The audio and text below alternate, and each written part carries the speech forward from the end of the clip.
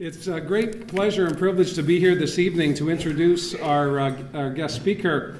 But before I do that, I just want to thank Ari for her uh, rendition and accounting and recounting of how much struggle we have behind us and how much struggle we have ahead.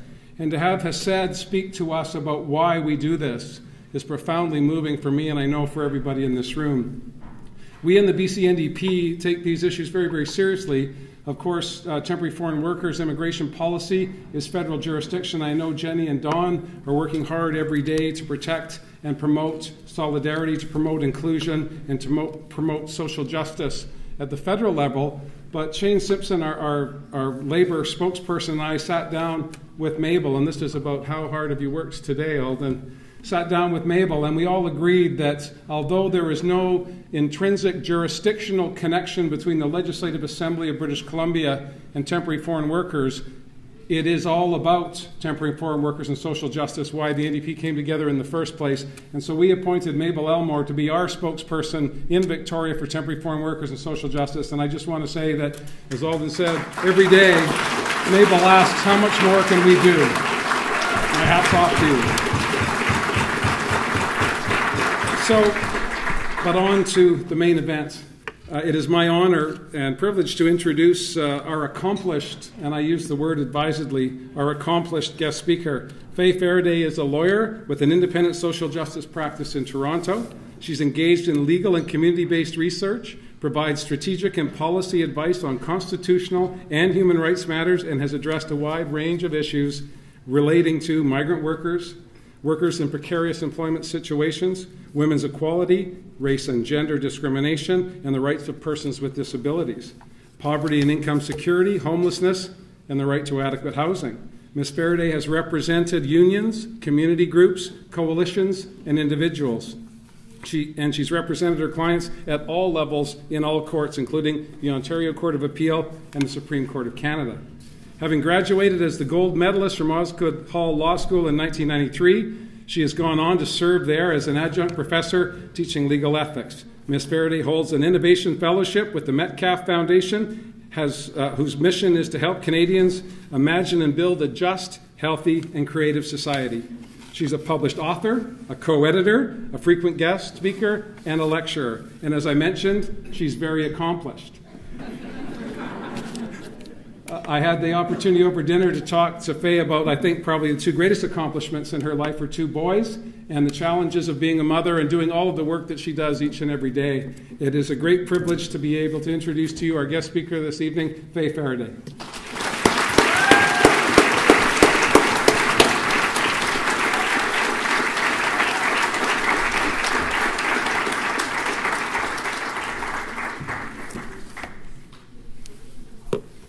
Just going to bring this back down to Filipino level. Um,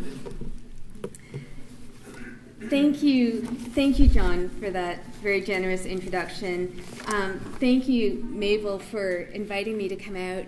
Um, I want to thank uh, Jane and Maita and Beth and Josie and everyone else at Migrante BC who's made me uh, feel so welcome here. But I especially I want to thank all of you, all of you who are in this room. Thank you for supporting the incredibly important work that Migrante BC does with migrant workers. Um, as as we've already heard from from Hesed, and as I'll talk about more, um, we know that there are many, many um, issues and, and challenges that migrant workers face. And one of the big ones is isolation the um, coming to a new country, working in isolated workplaces, um, not knowing um, where to get help. And one of the really key things that Migrante BC does is outreach to connect up with those workers, organizing those workers, building connection, building trust, building community, so that migrant workers can bring their stories forward, bring forward their experiences, so that migrant workers can advocate for themselves for change um, uh, bringing forward uh, a community of trust so that migrant workers can bring on these um, these groundbreaking litigation uh, actions like like Denny's and and the other ones. But it's about building community together. It's about building solidarity, and that's what we're here for tonight. Um, so thank you for your solidarity in supporting Migrante BC. Thank you for your solidarity, not just tonight, but going forward from today, because there is a lot of work to be done, and we all need to be in this fight together. But what we have at this moment is a tremendous opportunity. I'm typically someone who's fairly fairly bleak, um, but uh, I see an opportunity right now um, for us to make real inroads on this issue. Um, the federal minister of employment, workforce development, and labor has announced that the government will be undertaking what uh, what she has called a serious review of the temporary foreign worker program. Um, so this is an opportunity for change. And with that in mind, I think um, tonight what I'd like to do is just uh, look back and see where have we been, take stock of where we are now, and to talk about where will we go from here together. Um, where I'd start off with is saying that Canada has lost its innocence on the issue of temporary labour migration. We know too much now to close our eyes to what is going on. Right across the country, um, groups like Migrante, other groups working with migrant workers, researchers across the country have been bringing forward countless stories of the kind of explo- worker exploitation that is absolutely common under the temporary foreign worker program. We know too much to keep things as they are. But at the same time, over the last couple of years, what has been exposed is how quickly Canadians' fears for their own economic insecurity can be manipulated, can be fanned into hostility and racism and xenophobia. And so we know the risks and we know not to go down that path. So while we have this opportunity for change right now, we also have the responsibility to choose how to act based on what we know. So, what do we know?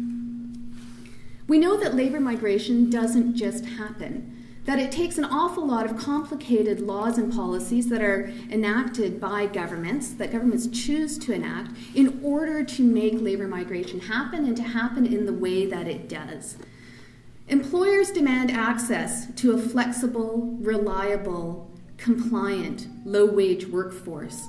And in response, governments have chosen to enact policies and laws to facilitate that. They've developed the programs that deliver that workforce um, on terms that very predictably make, them worker, make the workers open to exploitation. There's, as you know, a number of different programs, and there are certainly variations between the details of how those programs run. But what we know is that they all share very similar structures that drive the exact same kinds of vulnerabilities to exploitation. Um, we know that for workers, live-in caregivers, and other workers under the temporary foreign worker program, that the private recruitment system is very largely unregulated, um, and that workers are paying thousands of dollars in illegal fees um, to, to get minimum wage jobs in Canada. They have taken out loans that are subject to extortionate interest rates. They come to Canada essentially in debt bondage. We know that under the seasonal agricultural worker program that even though there is not that private recruitment, that workers have uh, are subject to perpetual recruitment, where every year their ability to return is dependent on getting um, a good word from their employer to be able to name them to come back. So perpetual system of recruitment, and we have heard about the experiences here as UFCW has brought forward in its litigation about the blacklisting that's occurred when those workers have tried to exercise their constitutional constitutional right to unionize. So we know that right from the get go, those terms that they come in on create a high degree of vulnerability that makes it very, very difficult, if not impossible, to enforce their rights to, uh, uh, to, to workplace standards, to the, the rights in their contract. Um, that's compounded, as you know, by the tied permits that, um, that Hesed and um, Alden have already mentioned, where you can only work for one employer in one workplace doing a specific job. Often housing is also tied.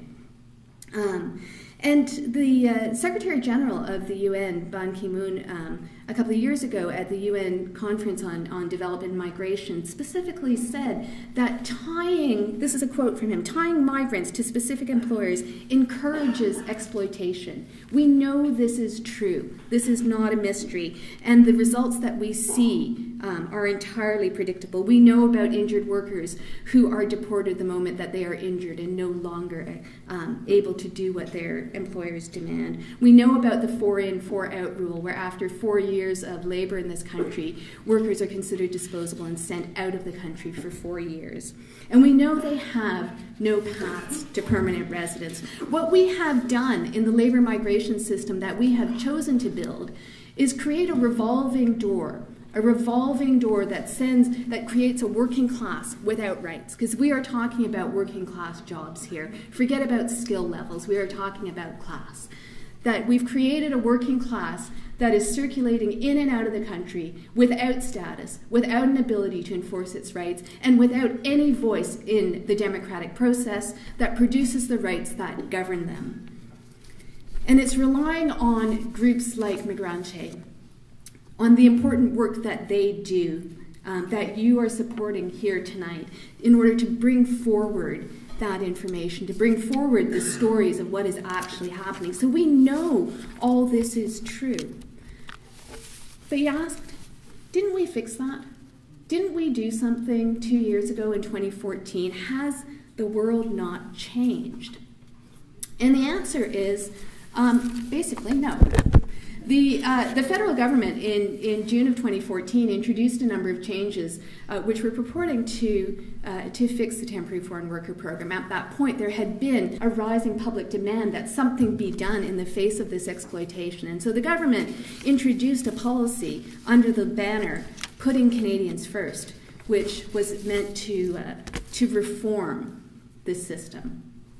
Um, but it didn't. In fact, made many things worse. What it did do um, is all of the reforms, virtually all of the reforms that were introduced at that point, were focused on the first thing that labor migration policies do, which is control um, which workers, how many workers um, are allowed to enter the country to work in which industries. Um, and they said that they were doing that in order to protect Canadian jobs.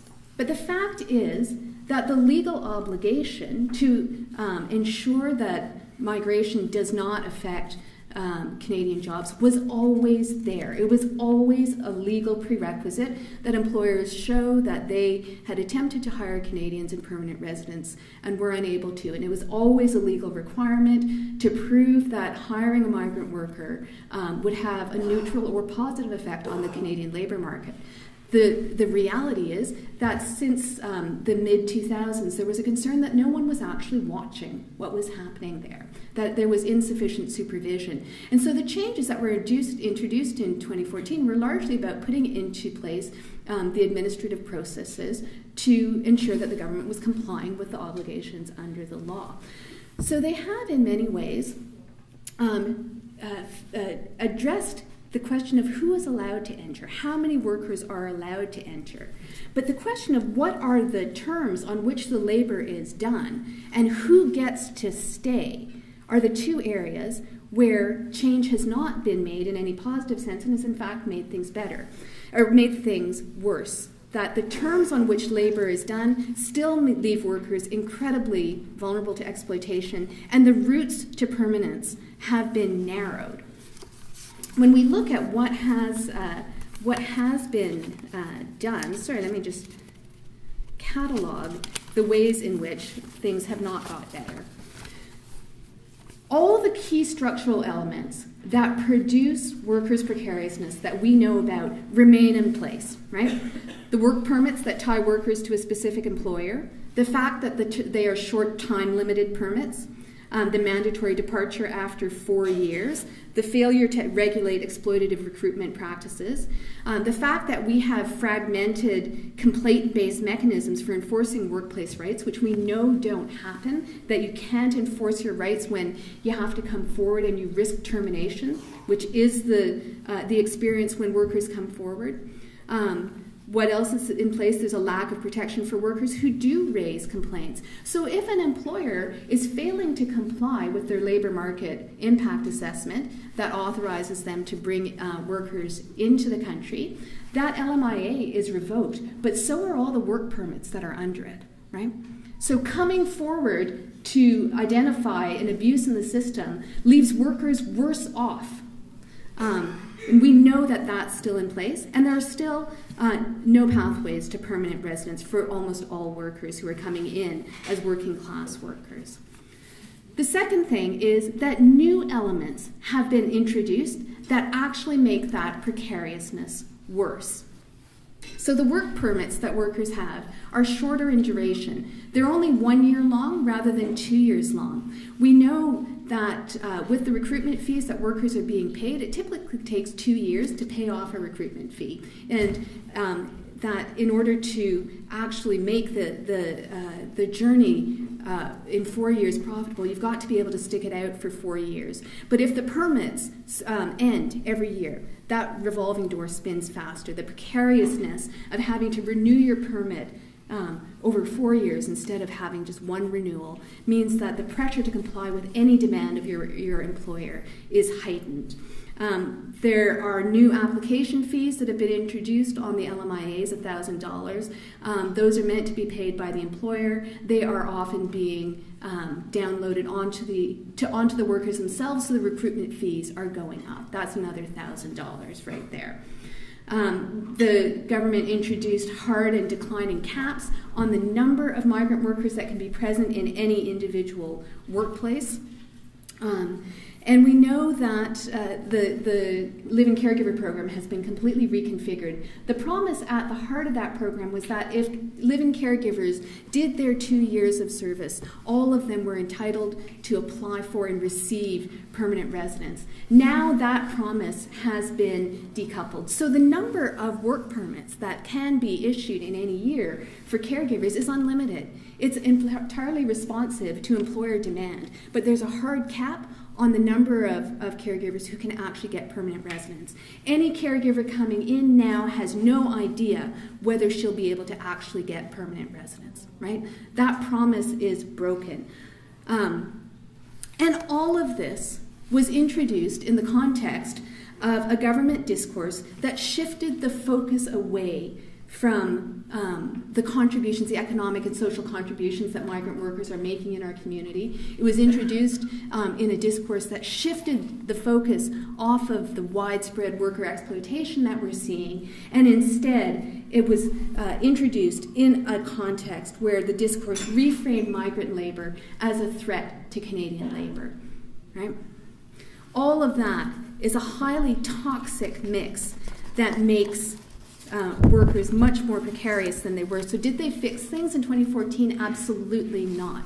Um, what's the common thread in all of this? What the common thread is, is that choices have been made, that government policy choices have been made that deliberately construct migrant workers as precarious, that um, engage in an active commodification of labor, a dehumanizing of of migrant workers.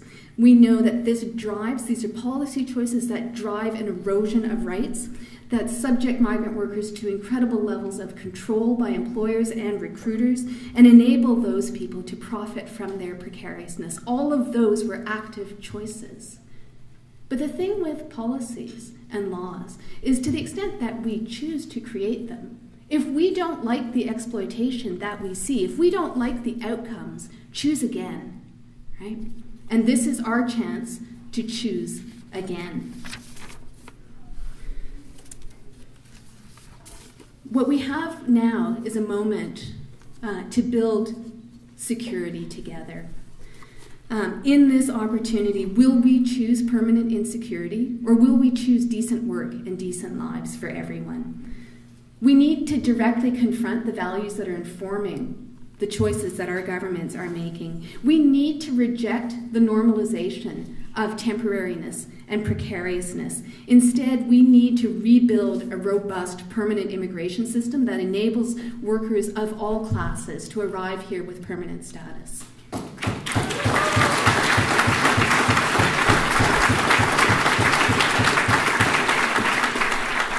We know that if you're good enough to work, you're good enough to.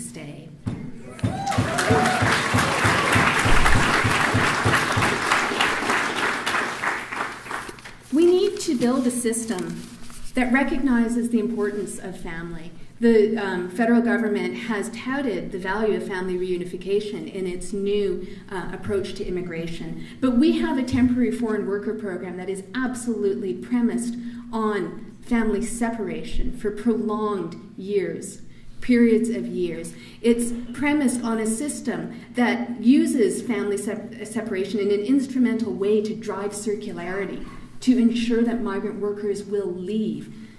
It is absolutely the antithesis to um, a family reunification policy, and that needs to change. Migrant workers are not units of production. They are full human beings who are connected to communities and families, and they need to be together.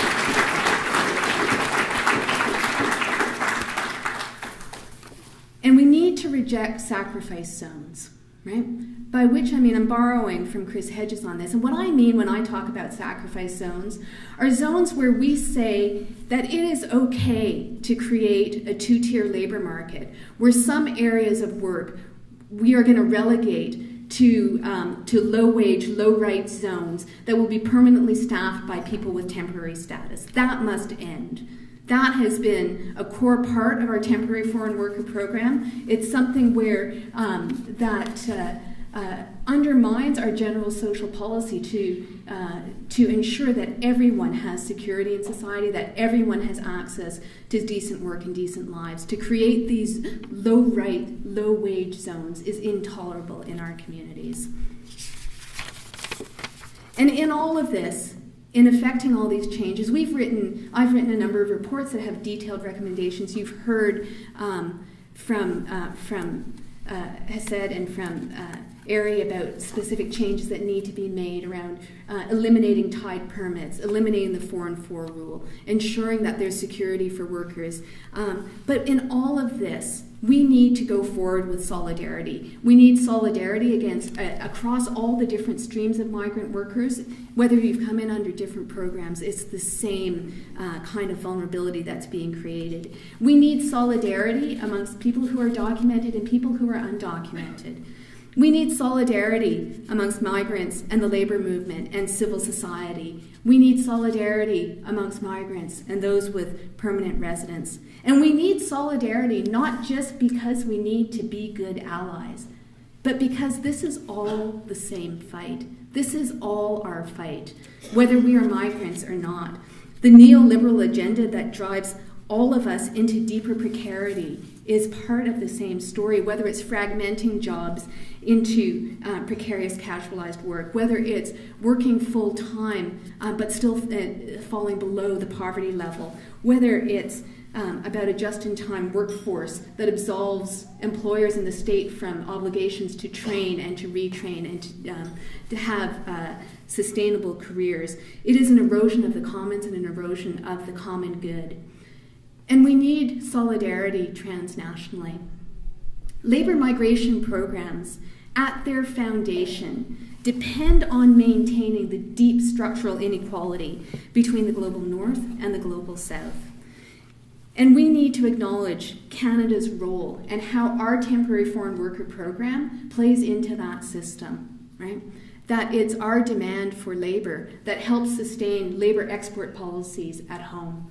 Building real security means building security so that migrant workers aren't forced to migrate, so that people have a choice to stay home, right? So that there are sustainable economies in all of our communities, so that people truly can choose whether to stay, to go, to return.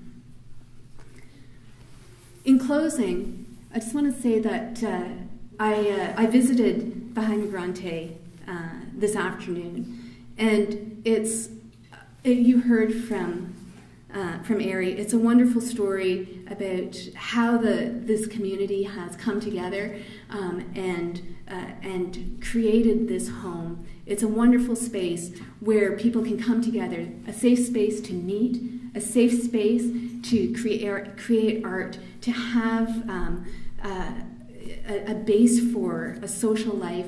There are youth committees, there are seniors committees, there's groups working with with migrant workers. It is a wonderful, rich home. It is a home that um, that we all need. We need somewhere where we can be together, we can work collectively, and we can be safe at home. And I want to.